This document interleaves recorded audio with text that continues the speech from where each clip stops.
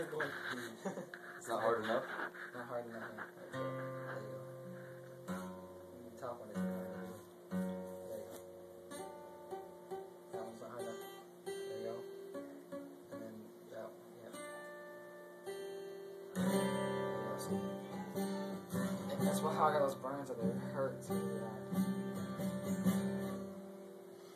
That's a G. And the hardest one ever is an F. I that one. It's one, two, three, no, yeah, three, and four. So this is the first one. No, you can use any finger because um E like the E chord, it says most people want um put their pointer finger on this one, and then uh this finger. Well, just for example.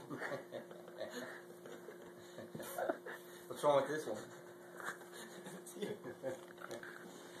what is it? Um okay yeah, you You're putting right on there. video. And this one would go up here, and then the pinky would go right there, or next to that one. Not in the second foot though. Second fret. Yeah. But really, that one would be that finger, and that would be that finger. Um, and that's that's that usually people do. But the way I do it is exchange these two, put the pinky up there, and then that one down.